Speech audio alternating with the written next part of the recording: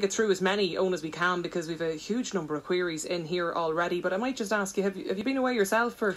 I've, I've go out and uh, gone flown out to have a look. I've flown in a couple of the main routes and Yeah. just to see. What's been interesting is the level of confusion and uncertainty at the beginning. A lot of uh, people very very nervous about it. It's like a, the first flight again, Andre. We're all 11 years of age and uh, you know being held by the arm and going through. It's uh, about three weeks. No, it must be f- nearly five weeks now, isn't it, since international? July 19. So Yeah. what does that make it? It's uh, it's it, most of um, Europe move, was moving um, from mid June and July the 1st. They brought in the digital COVID, COVID cert. So when we arrived in numbers in airports like Faro and Malaga, like the choice routes that we do for summer, uh, they were pretty much used to it. Uh, airline check-in staff, um, mostly most of the check-in action since we we go straight to the gate now is at the gate. They were very uh, pretty much on top of it from the beginning. Flight again, Andre. We're all 11 years of age and uh, you know being held by the arm and going through. It's uh, about the- three weeks. No, it must be f- nearly five weeks now, isn't it, since international? July 19. So Yeah. what does that make it? It's uh, it's it, most of um, Europe move, was moving um, from mid June and July the 1st. They brought in the digital COVID, COVID cert. So when we arrived in numbers in airports like Faro and Malaga, like the choice routes that we do for summer, uh, they were pretty much used to it. Uh, airline check-in staff, um, mostly most of the check-in action since we we go straight to the gate now is at the gate. They were very uh, pretty much on top of it from the beginning. Passengers very nervous. Uh, so huge amounts of documentation. People with loads of printed out forms because of that fear that they wouldn't get through. And at the other side, then, um, you know, the immigration staff, it was a pretty much a new game for a lot of them.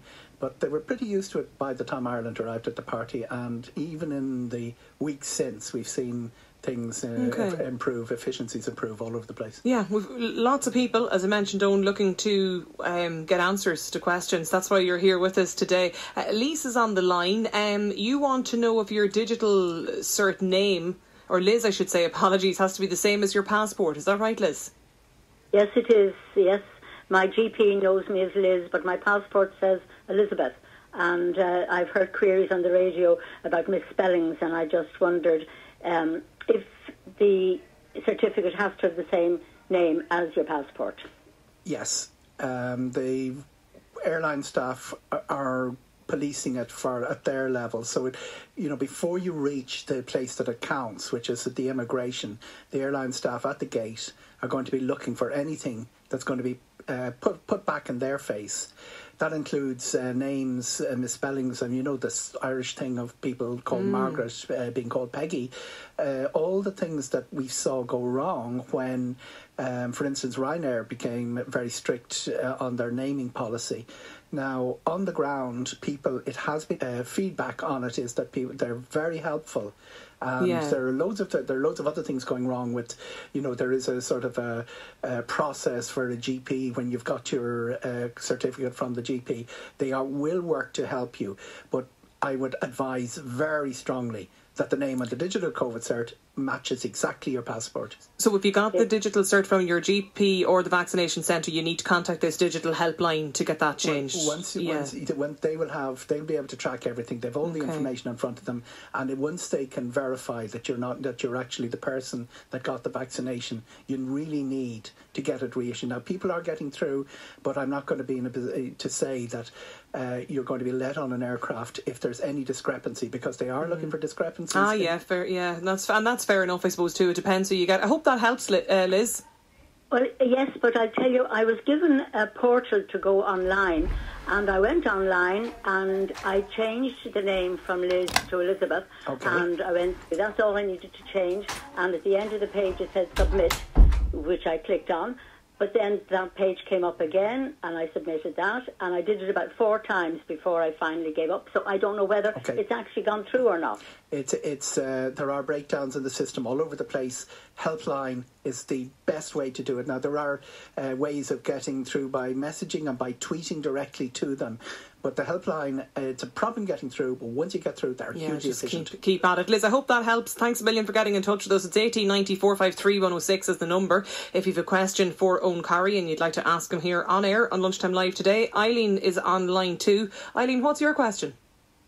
Hi, um, I am travelling to Portugal um, next week with a 12 year old, and I'm just wondering, um, it doesn't really specify whether it's over 12 or under 12 that need the PCR test. It's up to, up to the age of 12. My understanding is that once you hit the 12th birthday, you need uh, the test, and it's an antigen test will suffice for Portugal. Um, I will qualify my remarks saying that it could be under the age of 13, but my understanding is once you hit the 12th birthday, it's uh, something that we probably chase down for you and find out is it is it does 12 mean 12 or does 12 mean 13 my understanding is it means 12 Is oh, that- perfect. Okay, so safer, best, best to be safe than sorry. The antigen test can be done at the airport, and it's not a quiz question that you have to do it the day before. You will get your result back in about 20 minutes from it. So it's a lot uh, more convenient. It's cheaper, but, but the convenience is what counts than the PCR test. That's brilliant. Lovely. Thank you. Great, thanks Eileen for getting in touch with us. I've a text in here from a listener as well, Eoghan, who um, I heard the minute the comments from the Prime Minister in New Zealand today talking about the planned phased border reopening next year. Family living in New Zealand.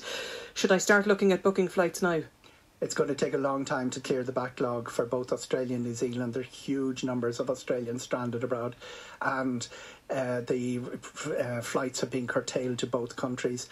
I think even if they open, let's say uh, the dates of February or March have been thrown about by both countries, it is going to take probably six months before we see um, people being able to move. And this is really important at the prices that matter because people are paying 12 and 14,000 for flights to uh, one way flights at the moment because of the caps. 12 and 14,000? Yeah, absolutely. Uh, because there's a cap on each of the, uh, on New Zealand and on the Australian air, air- airports to get in, never mind the mandatory quarantine you do when you get there. a lot of the people who are trying to get back have to buy business class tickets or be very highly priced tickets. I think it's probably going to take a lot of 2022 to clear the backlog to New Zealand. Uh, hopefully they can get through it quicker. And that certainly the airlines, Alan Joyce, who's from Tallaght, he's CEO of Qantas, he's certainly uh, ready to move people in mass en mass once he gets Okay. to go ahead to do so. But I do think it'll take a while to clear the backlog. Okay, Dara is with us as well on the line. Dara, what's your question for Eoghan? Afternoon. um, I hope to travel to Greece alone uh, in November because of the scarcity of flights that time of year. There are no direct flights from Dublin. So the plan is to go via Istanbul. I'm just wondering if there are any potential, as things stand now, are there any potential banana skins for transiting through Turkey, given uh, everything going on with COVID? I have, I'm fully vaccinated and I have my uh, COVID passport. Okay. there is a banana skin in that uh, the uh, regulations and everything we've seen applies within the European Union. Turkey has applied to the European Union to get uh, the same status as a European Union country. They're recognising EU COVID certificates going into Turkey if you're holidaying there. On the return, though, they're not recognised uh, for the same uh, the same uh, travel without quarantine and without restrictions. So there are. Um, I'm Turkish Airlines is a great airline, and getting into Cyprus, uh, getting into uh, Greece through Istanbul makes sense. But uh, I do expect things to have improved by November. But do be aware for everyone, not just uh, people transiting through Istanbul, but through our other major hubs out there, Qatar, that the Olympic athletes came from, Dubai, Abu Dhabi. All of those, um, they're not, they're not, they don't have the same uh, unrestricted travel for vaccinated passengers as EU countries have. The regulations came in July the 19th, uh, are only uh, applied to the European Union and Turkey, and as is Morocco another famous uh, favourite holiday destination are outside. They're recognising the European Union COVID certs. Uh, there's all sorts of political issues in the other Okay. direction, including the vaccination that's administered. I hope that helps, Dara. But even if I'm just transiting, I wouldn't be leaving the airport. One of the big shocks for me and for everyone in the travel industry is that transit passengers were regarded the same as Okay. uh, passengers emanating from a country. We saw that happen with mandatory hotel quarantine. It's uh, treat a transit airport as if you're coming from that country.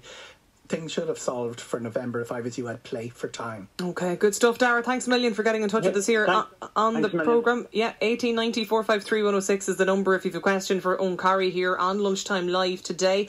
Uh, Donna is with us as well. Donna, what would you like to ask on? How you doing, Eoghan? Um, my Hi, wife um, is actually trading. She's travelling home for the first time in two years, obviously, to Gothenburg. So she's flying directly from Ryanair, uh, from Dublin, Ryanair. She's got the COVID cert and whatever. But when you go onto the Ryanair um, website, it directs you to a form which obviously has to be filled in, and every single country is there that Ryanair fly into except Sweden. so I don't know whether Sweden doesn't need one of these forms that you fill in. It, I know it's a little bit laid back, but I can't find any information. Swedish Okay. Embassy, Dublin, I can't anything. So my That's my my instinct, and it's not my. Uh, uh, I don't know the detail. My instinct is uh, that Sweden needs a locator form that you have to fill out in Mm-hmm. advance. Um, it will be found through the Swedish government websites if it's not on the, the Ryanair. And if you can't find it, go to the airline of the country. Go to Scandinavian. They will tell you Mm-hmm. in their information straight away, even though you're not flying with them, they will tell you straight away what the Swedish policy on locator forms are. Locator forms are the biggest, one of the biggest issues here uh, that have arisen in the last few weeks because they all, in every country, needs uh, it requires one, and some of them are a little bit messy and a little bit difficult. Very often they're drawn up by bureaucrats for bureaucrats, not for holidaymakers. An example mm. that a lot of Irish people come across, not specific to you, Donna, but is the Spanish one. It actually looks for details of the address and the municipality, which, um, you know, if you're not familiar with Spanish local government, you mightn't know. And it doesn't allow you go to the next page unless you've actually given that information. Something I'd love the Spanish to sort out. But it, it, locator forms, they're generally taking three, four minutes to, to fill. Some countries a bit more complicated, 10, 12 minutes. And in many ways, and this is not just for you, Donna, but for the general listenership, the locator form in some cases supersedes the digital COVID cert because it looks for your digital COVID cert QR code, and then that's the QR code they look for when you land. That's very important in the case of our two major tourist destinations, Spain and Portugal. Back to Sweden. Very surprised if they didn't have a locator form. Chase the Swedish government uh, websites. Government websites are notoriously difficult to find what you're looking for. If you can't find it there, go to Ryanair's rival. Don't tell them this. Uh, go to Ryanair's rival, Scandinavian SAS. They will certainly guide you right into what is required for Sweden. Yeah, and I, I hope you've got some a bit of comfort, Donna, from that. Yeah, no, no, that's that's. It was because she's she's traveling on her own, which she hasn't really done either for a long time, and it's just you know. I know, and it can be nervous, so- so worrying. Absolutely, this. yeah, yeah. No, locator form is vital. Very, it's very, very important. Yes, it's, it's I- I important figured as that, said, yeah. Donna, thanks a million for getting in touch with All us here. so much. On you. Lunchtime Bye, Live. Donna. Cheers. Actually, just on that as well, Carol got in contact on to say um, the passenger locator forms can they be filled out prior to leaving? Is there a paper alternative? um, generally uh, they are online.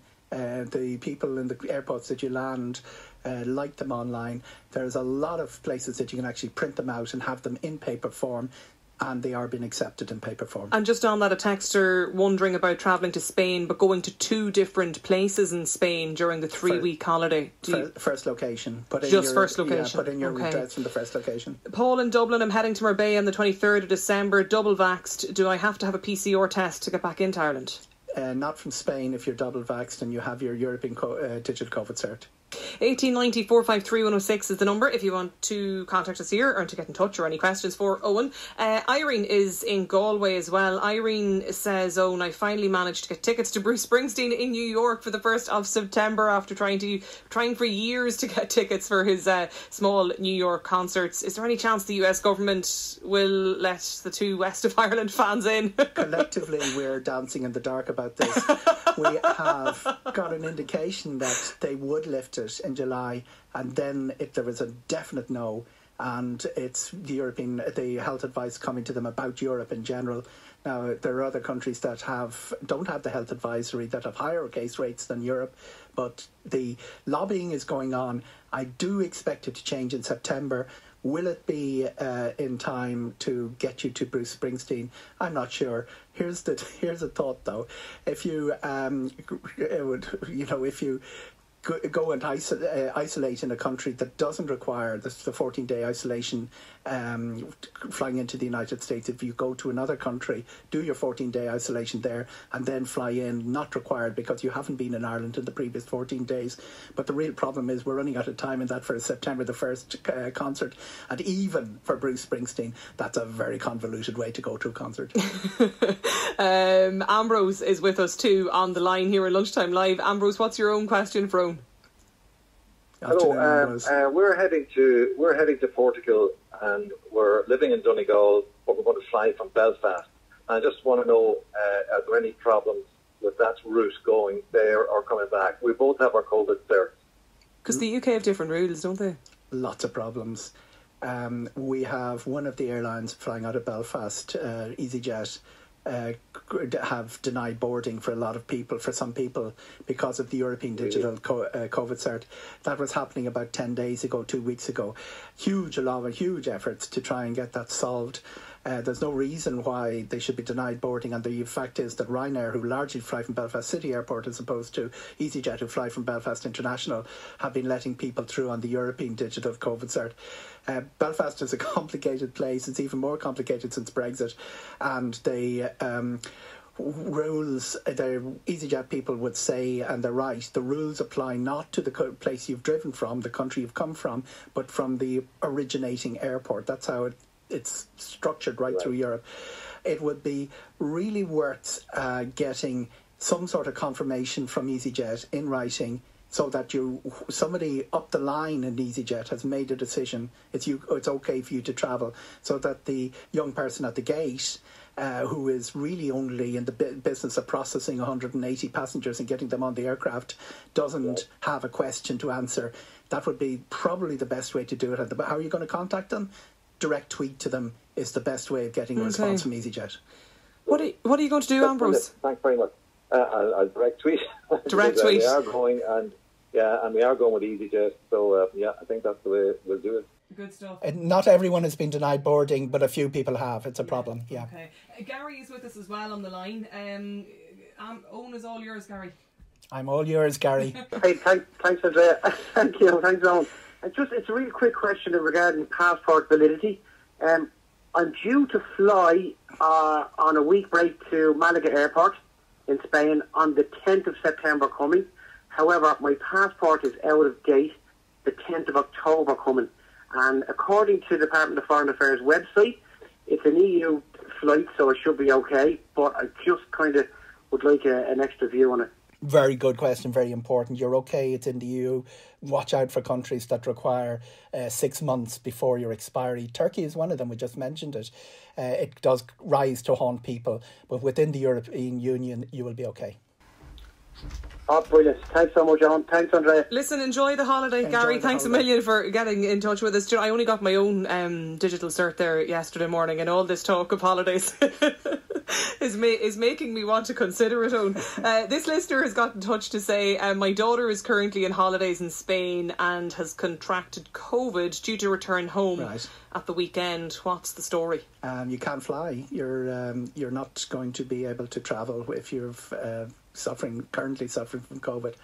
You're uh, a lot of the um, travel insurance people have now um, got policies that enable you to um, that will cover the expenses and the costs of um, okay. you know a delayed flight or a cancelled flight, and the conditions for a lot of the airlines are quite. Uh, uh, they're quite generous when it comes to situations like this. Can't talk about an individual case on this, but certainly, if you got COVID in Spain, you got to get through um, the the treatment over there. The EHIC card will cover you, and the uh, you're not going to be getting on board an aircraft until you're clear. No, and but do you, you have to pay up though for your own um, isolation accommodation? Um, up I'm front. Not, I, am not sure uh, what the uh, Spanish uh, regulations on isolation when you're treated for COVID over there.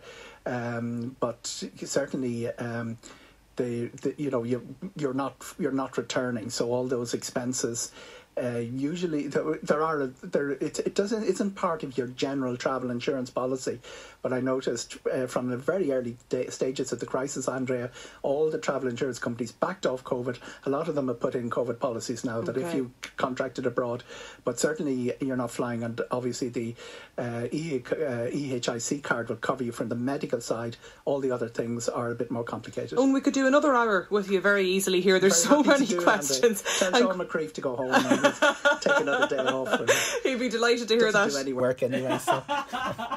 He'd be delighted to hear that. Well, he is going to be in now in a few moments' time. Listen, the editor of Air and Travel magazine, Eoghan Corry, thanks a million for joining us here on lunchtime. Always a pleasure, Andrew. Yeah, absolutely.